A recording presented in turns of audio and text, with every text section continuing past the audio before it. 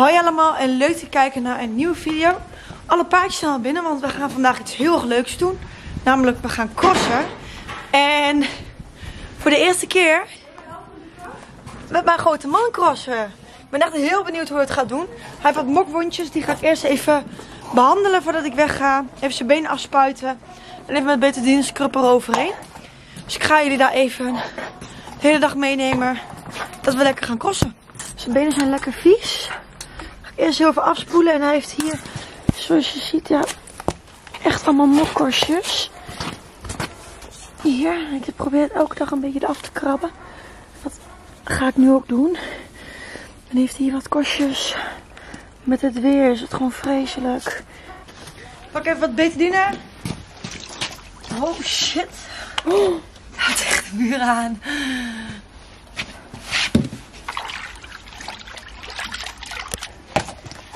Gewoon eerst een beetje op mijn hand.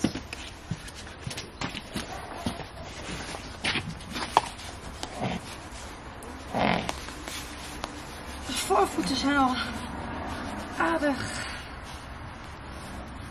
beter. Hij, omdat hij heel snel in zijn emotie is van dingen, krijgt hij ook gewoon snelle mok. En ja, daar kun je niet zoveel aan doen. Het is heel irritant. Maar omdat het echt een binnenvetter is, dan, ja, dan krijgt hij het gewoon sneller. Want dan heeft hij gewoon een snelle, een minder goede weerstand. En ja, dat moet je gewoon een beetje bijhouden. Zodat het een beetje ontsmet. Een beetje losweekt. Het is eigenlijk niet zo goed voor de huid. Want uh, dan ga je, was je eigenlijk het huidvet er een beetje af. Daarom moet je dit niet al te vaak doen. Maar ja, nu moet het wel even, want hij heeft echt veel mokjes. We naar het andere been.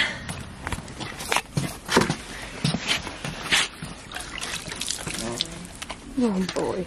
En vaak waar mok is, is meid. Dus dat moet je ook even goed in de gaten houden. De speciale mokcel van de dierenarts. Zodat het goed onder controle uh, komt. En ik probeer het eigenlijk zo droog mogelijk te houden. Maar soms is dat gewoon niet altijd mogelijk. Ja, je hebt natuurlijk erg visueel de laatste tijd. Ja, ik dacht eigenlijk dat een mok over was. Totdat ik het voet telde. Toen dacht ik, oh shit. Hij heeft het weer. Van de achterbenen. Ziet, heeft hij hier echt wel flink veel korstjes. Gaat hij ook niet zo prettig vinden. Nou, we hebben ondertussen opgezadeld. Alvast. Chills. Ze weten dat iets gaat gebeuren. En boy, heb ik hier ook al opgezadeld. De vrachtwagen staat klaar. En dan gaan we ze inladen. Ik ben echt heel benieuwd. De laars van Lotte even aan. En de vrachtwagen is helemaal klaar. Ik ben echt heel benieuwd hoe ze het gaan doen. In de vrachtwagen hebben we een cap. En de hoofdsteller. Een zweepje moeten we nog. Dan hebben we alles gepakt. En maar die gaat voor ons vloggen. En we doen even alles op slot. Omdat we natuurlijk er niet zijn. Dus uh, we willen wel dat uh, het veilig is. Nou, zweepje 1. En nog een springzweep. Ja. Zweepje 2. Die moeten er ook in. Want ik dacht, nou, ik ga even oefenen. Want dressuurmatig gaat het best wel heel goed met Boy de laatste tijd. En het is wel een uitlaatklep voor hem om ook even naar het bos te gaan. En dan een sprongetje mee te nemen. Ik verwacht eigenlijk dat hij heel braaf is. Want hij vindt alles wel heel leuk, maar alleen een beetje spannend. En April en ik hebben ons ingeschreven voor een oefencross. Van 40 en 50 centimeter. We dachten we beginnen mooi laag. Het hoeft niet hoog. Het is wel dat ze de hoogte kunnen. Maar ja, met Boy heb ik het nog nooit officieel gedaan. En April ook nog niet. Dus we dachten nou we beginnen mooi laag. Ik ga op Boy en April gaat op Jules. Dus het is pas in maart in Den Ham. Dus, uh, 27 maart. Ja, en we hebben twee rondjes gedaan. Zodat als ze het eerste rondje een beetje spannend vinden, dat ze het tweede rondje goed kunnen afsluiten. Dus we gaan nu ook eigenlijk een soort van ook een beetje oefenen. Ja. En we denken dat de waterbak een keer vol staat. Dus dat is echt een leuke oefening. Jules haat water. Maar als ze er eenmaal doorheen is, is het goed. En boy, ja, ik weet het niet. Dus uh, we gaan ze even snel inladen. Dat doen Jules eerst, want die is het moeilijkste ja omdat we weten dat Jules gewoon moeilijker laat, doen we gewoon meteen een logeerlijn. Goed zo!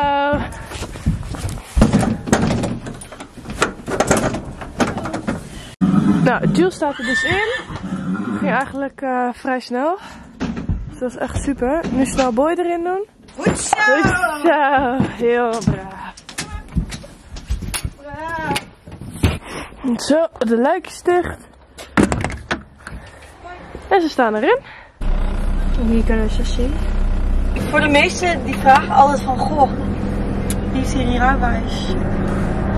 Ik ga toch? We hebben een automatisch eh, vrachtwagentje daarvoor hebben we gekozen. Omdat het eh, gewoon veel makkelijker is dan elke keer terugschakelen.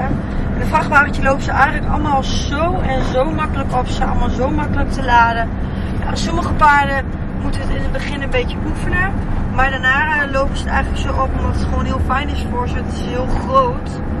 En ehm ik nu ongeveer een uurtje rijden. En mijn voorkeur om ze op te zadelen is omdat Jules best wel dribbelig is.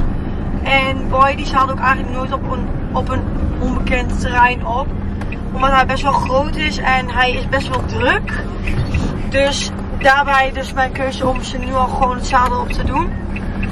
En eh, zodat ik er straks niet eh, mee hoef te kutten om het zadel en het te krijgen. En eh, de zon breekt een beetje door. Ja, dat is echt super. Dus het is echt wel mooi. Het is echt perfect weer, want de laatste dagen is het echt alleen maar gaan regenen En eigenlijk. sneeuw, en sneeuw. Ja, dus dit is echt een topdag. En ehm, ik ben heel benieuwd hoe hij het doet. Ik denk wel dat hij, eh, dat hij het heel leuk vindt.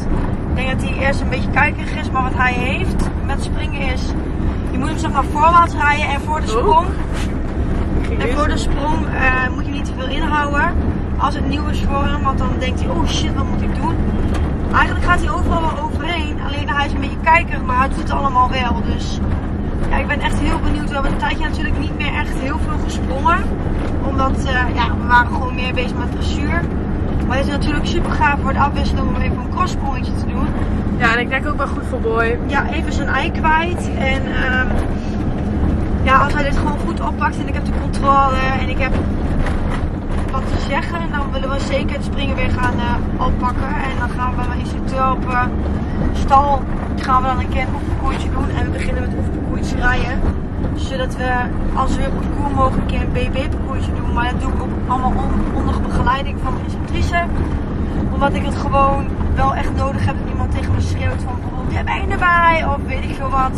Hij heeft zo'n hele mooie headset, dus als ik eh, aan het rijden ben, bijvoorbeeld met een BBB-parcoursje, kan ze me altijd aanwijzingen geven van eh, je been er iets bij. Want ja, weet je, ik heb dan natuurlijk wat spanning, het paard heeft spanning. En eh, ja, het wordt natuurlijk wel zijn eerste keer concours dan. Dus dan willen we dat natuurlijk zo goed mogelijk proberen te doen. Het gaat me niet eens zozeer dat ik prijzen win of wat ik hoog wil. Het gaat gewoon voor de lol. Dus ik ben echt heel benieuwd of hij dit, of hij hier mooi zijn energie kwijt kan. Want eh, ja, hij is de laatste tijd zo fris. Heel braaf hoor, maar wel fris. En dat weet hij ook. En hij is zo groot en sterk. Dus daarom heb ik ook een martengaaltje op gedaan. En een klein spoortje om, zodat ik zo goed mijn benen eromheen kan houden. Want hij heeft altijd de neiging om zich er een beetje uit te trekken. Het is natuurlijk heel makkelijk om elke keer te trekken te trekken. Maar dan moet je juist je benen bijhouden. Dus vandaar een klein spoortje. Zodat ik niet hoef te trappen, maar gewoon als verlenging van mijn been.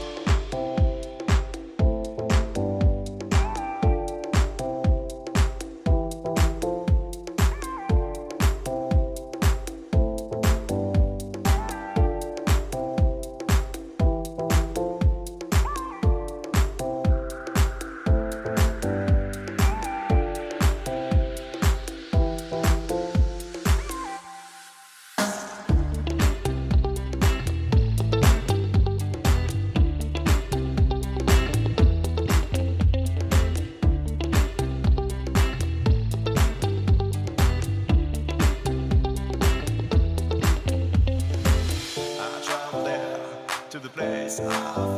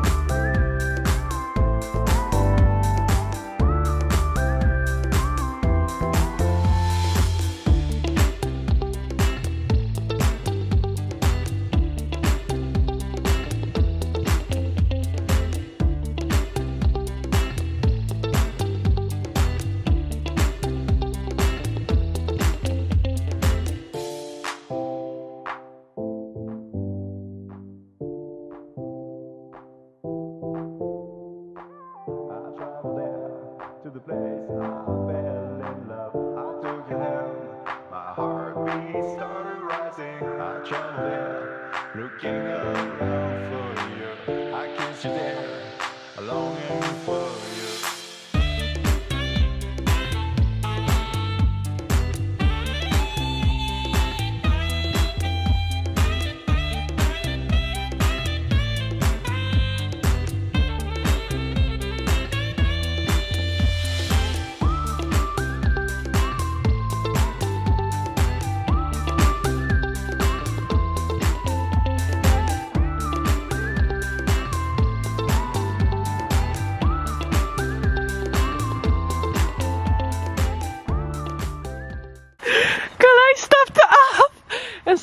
En ah, ze was vergeten dat ze een airvest aan had, dus ze heeft wel een bolletje aan. Hij is geplopt. Mijn benen. Nou, we gaan de paardjes even afzadelen. En dat ga ik even helpen. Even de dekens weer op. En snel afzadelen en snel naar huis, want we moeten de paarden nog binnen zetten. Nou, de accu is bijna leeg. Het crossen met, met, met Boy ging echt voor de eerste keer super goed. In het begin was hij een beetje afwachtend en hij vond het wat eng. En eh, ja, hij was gewoon heel erg kuikerig en ging heel hoog overheen. En Dat hebben jullie al gezien. ja, nadat ik over een paar sprongetjes ben gegaan en als eerste zelf overheen ben gegaan, deed hij het super, super, super goed. Zelfs de waterbak ging er gewoon nou, even snuiven en toen gingen andere twee ponies voor. En toen gingen ze er ook eigenlijk ja, doorheen. Hoe vond jij het juice in? Super goed. Het was mijn eerste keer ehm crossen met Jules. Ik heb daar nu twee keer thuis gesprongen met Jules. Twee keer. Ja, En dan twee lesjes heb ik gesprongen. En nu dan voor de eerste keer crossen. En Jules is super fijn. Dus eh, dat is echt eh, super. Dus het ging echt heel goed. wat vond jij gaan Emma? Goed eh, op één stukje na. Het is nu volgens mij 4 uur. Paardje even voor het paard van de zomer afhalen. En dan gaan we ook weer naar huis. Want ja, om nu nog twee paarden te rijden, dat kan in het weekend ook wel. Ja. Super trots op hem. Ging echt, er best wel wat hoge sprongen tussen. Maar dat deed hij ook gewoon vlekkeloos. Hij was alleen een beetje eerst van, oh, dat vind ik een beetje eng. Maar eigenlijk, als ik hem maar doorreed en niet te veel terug ging nemen, dan eh, was het prima. En af en toe ging ik even voor, het ging ook echt heel goed. En ik denk dat het sowieso wel goed is dat we voor de eerste keer sowieso hebben gekozen eh, voor 40, 50 centimeter, omdat het ook de eerste keer is. En met hoeveel cross ik heb nog nooit gedaan, dan kan je niet eh, alles doornemen, lijkt mij. Nee, je kunt hem lopen. Ja, oké, maar je kan niet met je paard eh, Nee. eerst één keer eroverheen en dan nog een keer, dat kan niet. Dus je moet alles in één keer doen, dus het was wel goed dat we eerst gewoon voor wat lager hebben gekozen. Want hoeveel hebben we nu ongeveer gesprongen? Ja, ik denk dat het vaak sprongen 80, 90 centimeter hier waren. Heel snel, want onze accu is leeg en de camera valt uit. In ieder geval heel bedankt voor het kijken. Doe nog een blauw duimpje omhoog. Vergeet niet te abonneren. En tot de volgende keer. Doei!